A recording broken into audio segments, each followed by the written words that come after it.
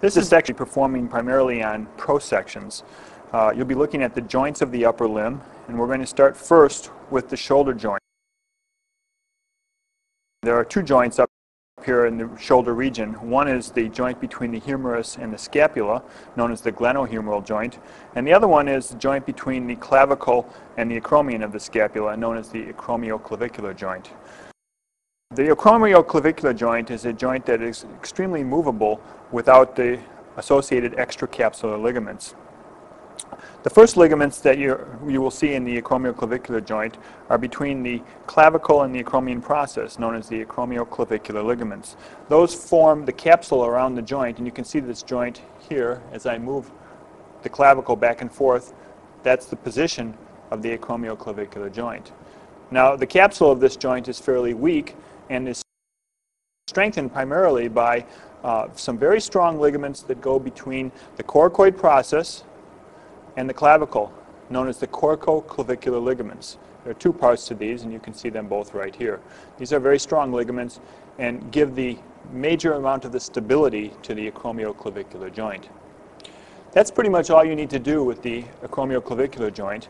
The next thing we're going to do is move on to the glenohumeral joint. The glenohumeral joint uh, is stabilized by a number of ligaments.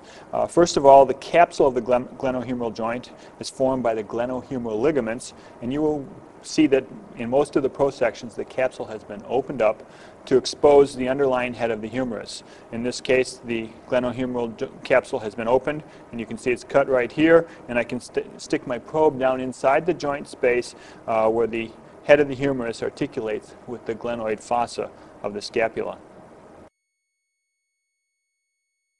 The tendon of the long head of the biceps passes right through the joint space on its way to the supraglenoid tubercle uh, of the scapula.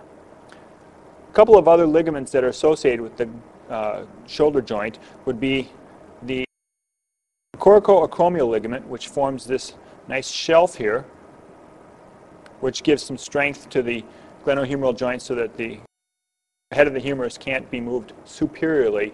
It hits the uh, coracoacromial ligament, and that stabilizes the joint superiorly. We're looking now at the anterior surface of the uh, shoulder joint, and what I'm going to do next is to flip this uh, joint over and look inside from the more posterior superior aspect. So as we tip the joint over and open it up to look inside, we're ultimately going to see the glenoid fossa. And we can see here the glenoid fossa where the head of the humerus articulates with the scapula. And then there's a dark ring around the glenoid fossa known as the glenoid labrum. This is a cartilaginous ring that helps to broaden that joint slightly and gives it a little bit more stability. That pretty much wraps up the shoulder joint and all that we need to look at. The next thing we're going to do is move down to the elbow and look at the ligaments that are associated with the elbow. Now we've moved down to the elbow joint, and we're going to look at a few of the ligaments that stabilize the elbow joint. First of all, the elbow joint is a simple hinge joint uh, that takes place between the ulna and the trochlea of the humerus. And you can see that the ulna right here articulating with the trochlea of the humerus and this is where the hinge action takes place. There's a second joint here that takes place between the head of the radius and the ulna, uh, and this joint allows pronation and supination, and you can always tell the head of the radius because you can see it rolling inside it's a ligament that holds it in place. The radius articulates with the humerus at the, a point on the humerus known as the capitulum right here. There are three ligaments that we have to look at that stabilize this joint, uh, a lateral ligament and a medial ligament. On the lateral side is the radial-collateral ligament seen here,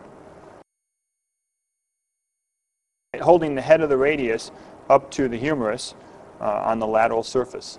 This ligament prevents adduction at the elbow joint. On the medial side, there's a similar ligament known as the ulnar collateral or medial collateral ligament and you can see that ligament right here, a much broader ligament holding the ulna to the humerus, and this ligament prevents abduction at the elbow joint. A third ligament can be seen when we flip these muscle bellies out of the way. You can see that there is a ligament that holds the head of the radius against the ulna. And this ligament wraps all the way around the head of the radius and is known as the annular ligament and holds the head of the radius in place against the ulna. You can see that when I move the radius inside, that pronation and supination takes place within the annular ligament. Now we're going to look at the, uh, a ligament that holds the radius and the ulna together in place in the forearm. We're now looking at the dorsal surface of the forearm. You can see the thumb side over here. And we've got the ulna and the radius. This ligament is known as the interosseous membrane running between these two bones, and you should note the direction of the fibers of the interosseous membrane. They're running from the ulna distally to the radius more proximally in this direction. Now, when you look at this dissection, uh, try and see how this direction of fibers can uh, prevent the radius from being forced up into the capitulum of the humerus during load bearing at the wrist joint. So this particular ligament helps maintain the position of the radius relative to the capitulum of the humerus. Now we're looking at the wrist joint from its dorsal aspect. And again, for orientation purposes, the radius is right here and the ulna here. The wrist joint is actually two joints, and it takes place between the radial carpal joint, seen right here. And the radial carpal joint consists of the uh, distal end of the radius, and the scaphoid and lunate bones. The second part of the wrist joint is between the two rows of carpals, the so-called intercarpal joint, taking place between the capitate and hamate and the scaphoid and lunate. And you can see that uh, joint space right here. Both of these joints allow flexion and extension as well as adduction and abduction.